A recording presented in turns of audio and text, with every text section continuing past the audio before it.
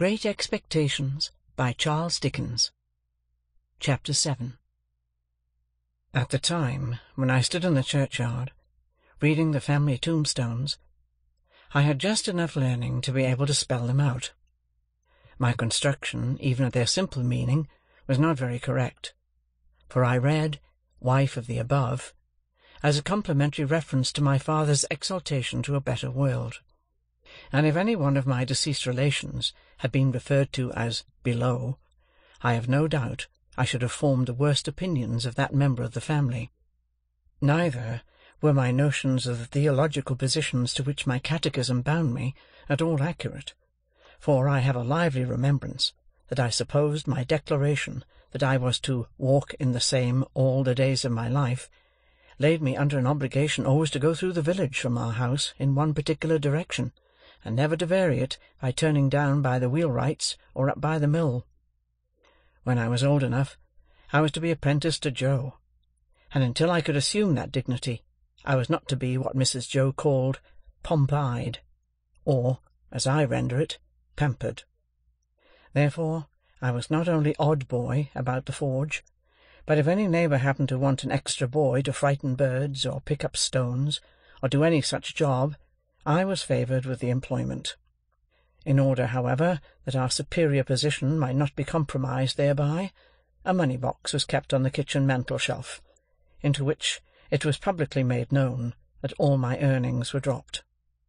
I have an impression that they were to be contributed eventually towards the liquidation of the national debt, but I know I had no hope of any personal participation in the treasure. Mr. Wopsle's great-aunt kept an evening school in the village; that is to say, she was a ridiculous old woman of limited means and unlimited infirmity, who used to go to sleep from six to seven every evening in the society of youth who paid twopence per week each for the improving opportunity of seeing her do it. She rented a small cottage, and Mr. Wopsle had the room upstairs, where we students used to overhear him reading aloud in a most dignified and terrific manner, and occasionally bumping on the ceiling.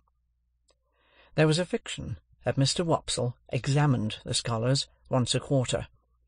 What he did on those occasions was to turn up his cuffs, stick up his hair, and give us Mark Antony's oration over the body of Caesar. This was always followed by Collins's ode on the passions, wherein I particularly venerated Mr. Wopsle as revenge, throwing his blood-stained sword in thunder down, and taking the war-denouncing trumpet with a withering look. It was not with me then, as it was in later life, when I fell into the society of the passions, and compared them with Collins and Wopsle, rather to the disadvantage of both gentlemen. Mr. Wopsle's great-aunt, besides keeping this educational institution, kept, in the same room, a little general shop. She had no idea what stock she had, or what the price of anything in it was, but there was a little greasy memorandum book kept in a drawer, which served as a catalogue of prices, and by this oracle Biddy arranged all the shop transaction. Biddy was Mr. Wopsle's great-aunt's granddaughter, I confess myself quite unequal to the working out of the problem what relation she was to Mr. Wopsle. She was an orphan like myself; like me, too, had been brought up by hand. She was most noticeable, I thought, in respect of her extremities; for her hair always wanted brushing, her hands always wanted washing, and her shoes always wanted mending and pulling up at heel. This description must be received with a week-day limitation. On Sundays she went to church elaborated. Much of my unassisted self, and more by the help of Biddy than of Mr. Wopsle's great-aunt, I struggled through the alphabet as if it had been a bramble-bush, getting considerably worried and scratched by every letter. After that, I fell among those thieves, the nine figures, who seemed every evening to do something new to disguise themselves and baffle recognition.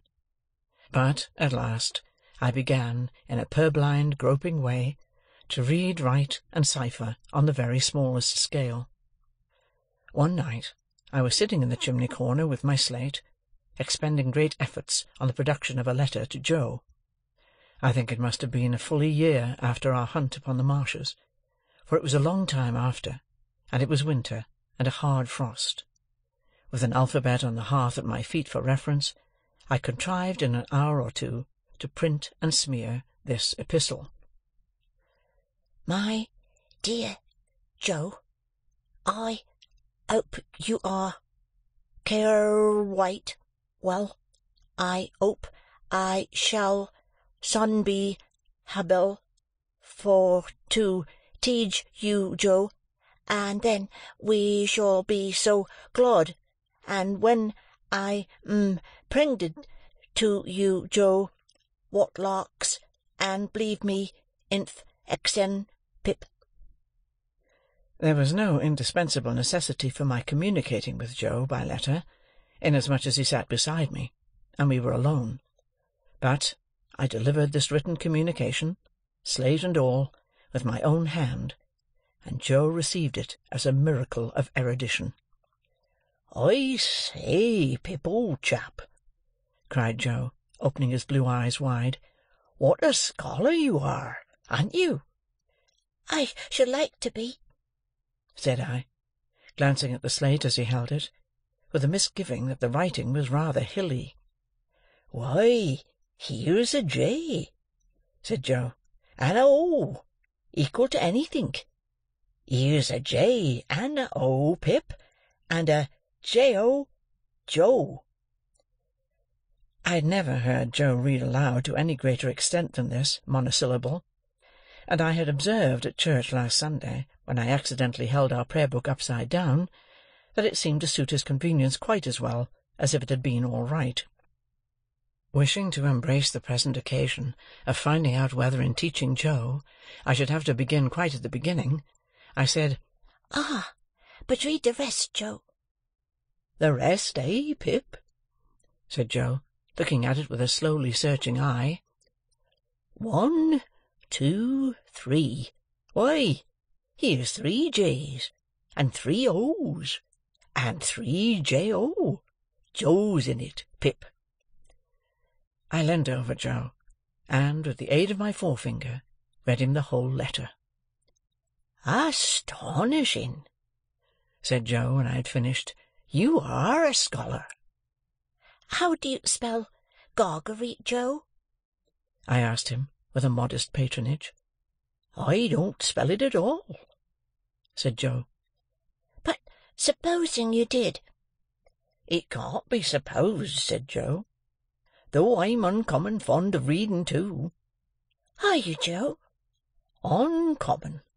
Give me," said Joe, "a good book, or a good newspaper, and sit me down afore a good fire, and I ask no better. Lord!" he continued, after rubbing his knees a little, "when you do come to a J and a O, and says you, 'Here at last is a J-O, Joe,' how interesting reading is!" I derived from this last, that Joe's education like steam, was yet in its infancy. Pursuing the subject, I inquired, "Didn't you ever go to school, Joe, when you were as little as me?" "No, Pip." "Why didn't you ever go to school, Joe, when you were as little as me?" "Well, Pip," said Joe, taking up the poker, and settling himself to his usual occupation, when he was thoughtful, of slowly raking the fire between the lower bars. I'll tell you. My father, Pip, he were given to drink, and when he were overtook with drink, he hammered away at my mother, most unmerciful. It were almost the only hammering he did, indeed, excepting at myself; and he hammered at me with a wigour only to be equalled by the wigour with which he didn't hammer at his anvil. You're listening and understanding, Pip?" "Yes, Joe." "Consequence. My mother and me, we ran away from my father, several times; and then my mother, she'd go out to work, and she'd say, 'Joe,' she'd say, 'now, please God, you shall have some schooling, child,' and she put me to school. But my father were that good in his heart that he couldn't abear to be without us; so he'd come with a most tremenjous crowd, and make such a row at the doors of the houses where we was that they used to be obligated to have no more to do with us, and to give us up to him. and then he took us home and hammered us. Which you see, Pip," said Joe, pausing in his meditative raking of the fire, and looking at me, "were a drawback on my learning." Certainly, poor Joe. "Though, mind you, Pip," said Joe, with a judicial touch or two of the poker on the top bar, "rendering unto all their due, and maintaining equal justice betwixt man and man, my father were that good in his heart. Don't you see?" I didn't see, but I didn't say so. "Well," Joe pursued, "somebody must keep the pot a bilin', Pip, or the pot won't bile, don't you know?" I saw that, and said so. Consequence, my father didn't make objections to my going to work, so I went to work, to work, at my present calling, which was his too, if you would have followed it, and I worked tolerable hard, I assure you, Pip.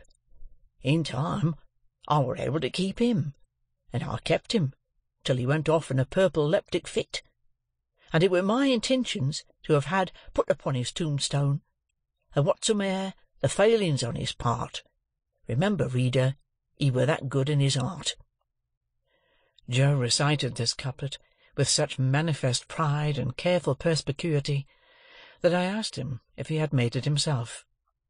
"I made it," said Joe, "my own self. I made it in a moment. It was like striking out a horseshoe complete in a single blow. I never was so much surprised in all my life. Couldn't credit my own head. To tell you the truth, hardly believed it were my own head.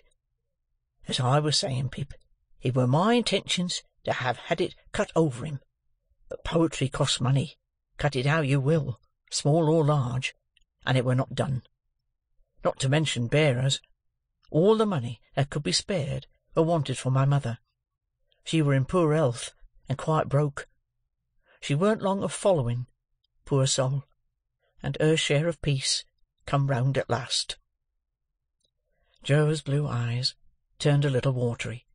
He rubbed, first one of them and then the other, in a most uncongenial and uncomfortable manner, with the round knob on the top of the poker. "It were but lonesome then," said Joe, "living here alone, and I got acquainted with your sister. Now, Pip," Joe looked firmly at me, as if he knew I was not going to agree with him, "your sister is a fine figure of a woman."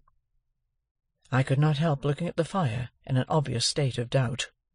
"Whatever family opinions, or whatever the world's opinions on that subject may be, Pip, your sister is," Joe tapped the top bar with the poker after every word following, "a fine figure of a woman."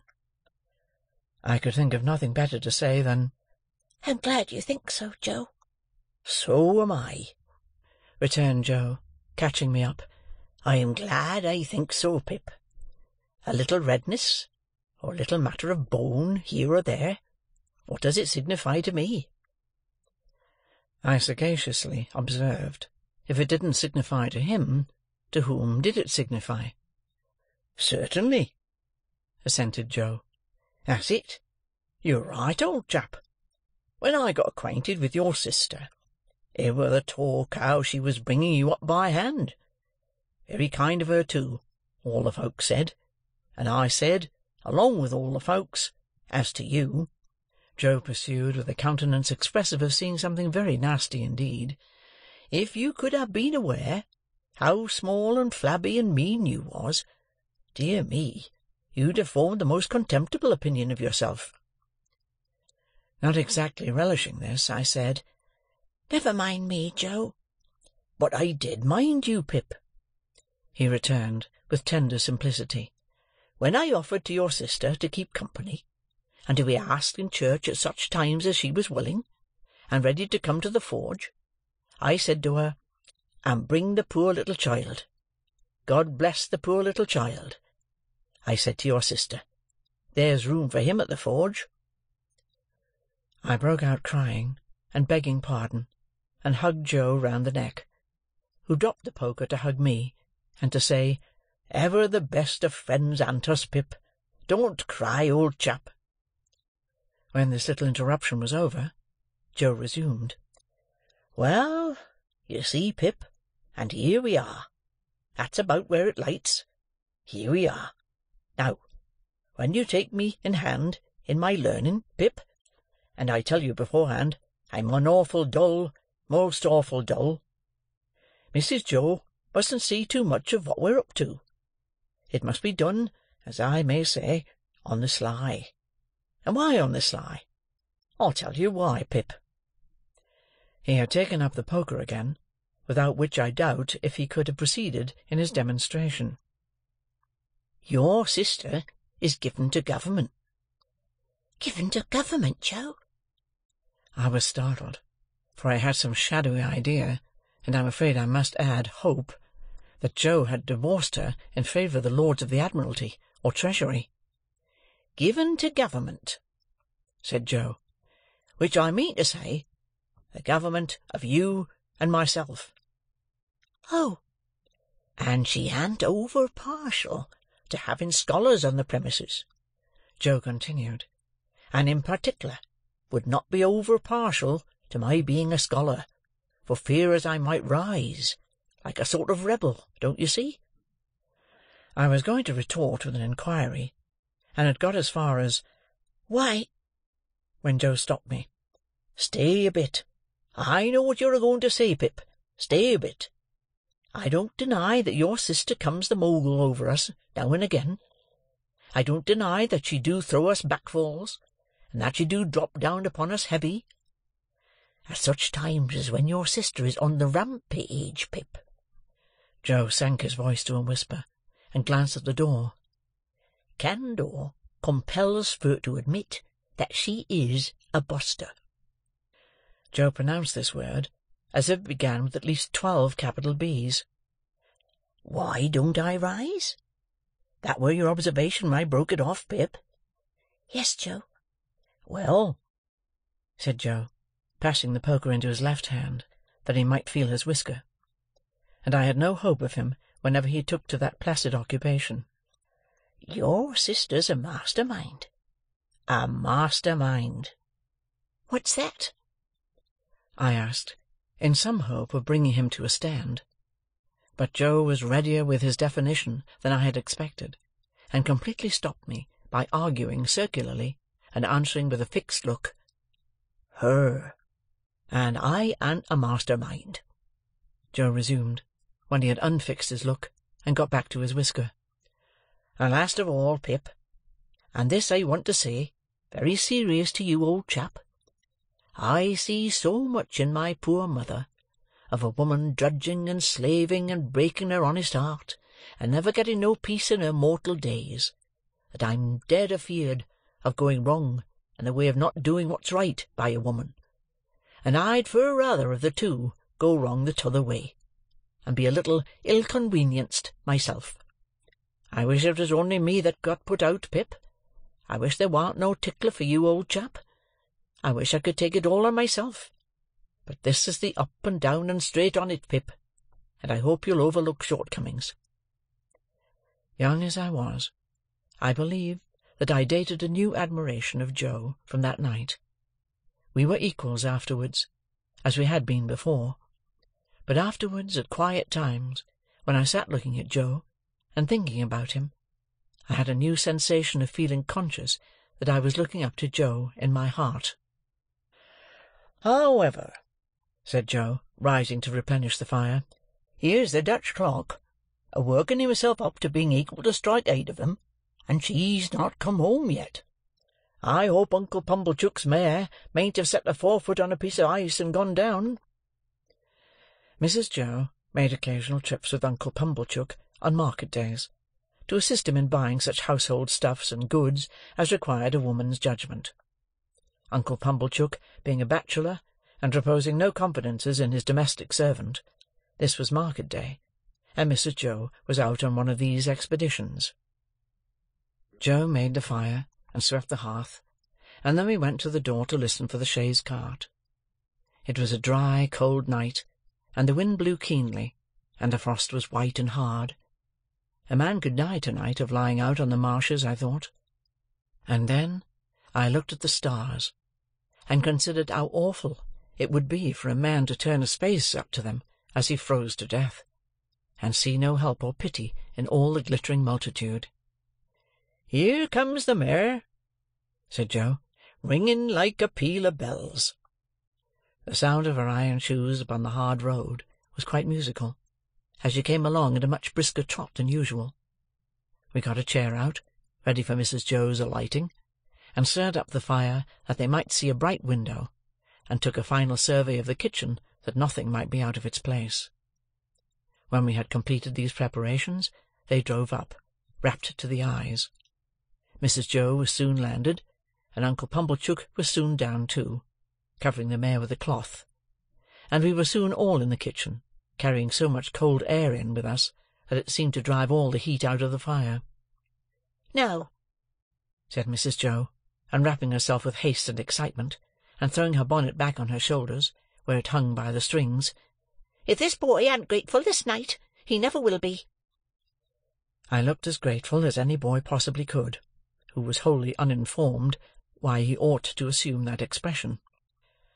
"It's only to be hoped," said my sister, "that he won't be Pompeyed. But I have my fears." "She uh, an't in that line, mum," said Mr. Pumblechook. "She knows better." She?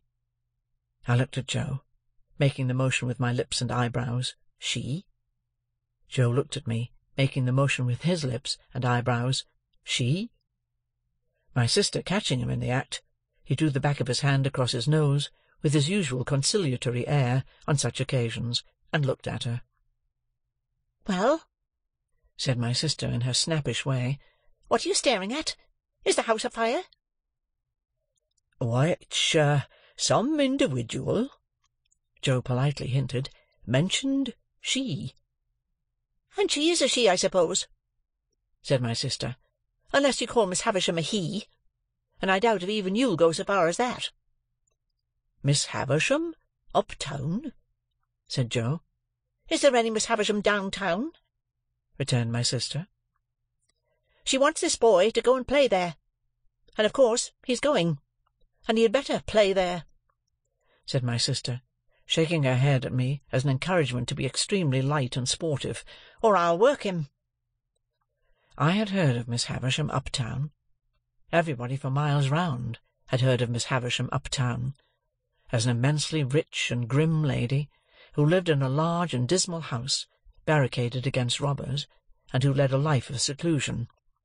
"Well, to be sure!" said Joe, astounded. "I wonder how she come to know Pip." "Noodle!" cried my sister. "Who said she knew him?" "Which some individual," Joe again politely hinted, "mentioned that she wanted him to go and play there." "And couldn't she ask Uncle Pumblechook if he knew of a boy to go and play there? Isn't it just barely possible that Uncle Pumblechook may be a tenant of hers, and that he may sometimes, we won't say quarterly or half yearly, for that would be requiring too much of you, but sometimes go there to pay his rent? And couldn't she then ask Uncle Pumblechook if he knew of a boy to go and play there? And couldn't Uncle Pumblechook, being always considerate and thoughtful for us, though you may not think it, Joseph," in a tone of the deepest reproach, as if he were the most callous of nephews, "then mention this boy, standing prancing here," which I solemnly declare I was not doing, "that I have for ever been a willing slave to." "Good again!" cried Uncle Pumblechook. "Well put! Prettily pointed! Good indeed! Now, Joseph, you know the case." "No, Joseph," said my sister, still in a reproachful manner, while Joe apologetically drew the back of his hand across and across his nose. "You do not yet, though you may not think it, know the case. You may consider that you do, but you do not, Joseph. For you do not know that Uncle Pumblechook, being sensible that for anything we can tell, this boy's fortune may be made by his going to Miss Havisham's, has offered to take him into town to-night in his own chaise cart, and to keep him to-night, and to take him with his own hands to Miss Havisham's to-morrow morning." "And Lord a mercy me!" cried my sister, casting off her bonnet in sudden desperation. "Here I stand, talking to mere mooncalves, with Uncle Pumblechook waiting, and the mare catching cold at the door, and the boy grimed with crock and dirt from the hair of his head to the sole of his foot." With that she pounced upon me, like an eagle on a lamb, and my face was squeezed into wooden bowls in sinks, and my head was put under taps of water butts, and I was soaped, and kneaded, and towelled, and thumped, and harrowed, and rasped, until I really was quite beside myself. I may here remark that I suppose myself to be better acquainted than any living authority with the ridgy effect of a wedding ring passing unsympathetically over the human countenance. When my ablutions were completed, I was put into clean linen of the stiffest character, like a young penitent into sackcloth, and was trussed up in my tightest and fearfullest suit. I was then delivered over to Mr. Pumblechook, who formally received me as if he were the sheriff, and who let off upon me the speech that I knew he had been dying to make all along. "Boy, be for ever grateful to all friends, but especially unto them which brought you up by hand." "Good-bye, Joe." "God bless you, Pip, old chap." I had never parted from him before, and what with my feelings, and what with soap-suds, I could at first see no stars from the chaise cart; but they twinkled out one by one without throwing any light on the questions why on earth I was going to play at Miss Havisham's, and what on earth I was expected to play at. End of Chapter 7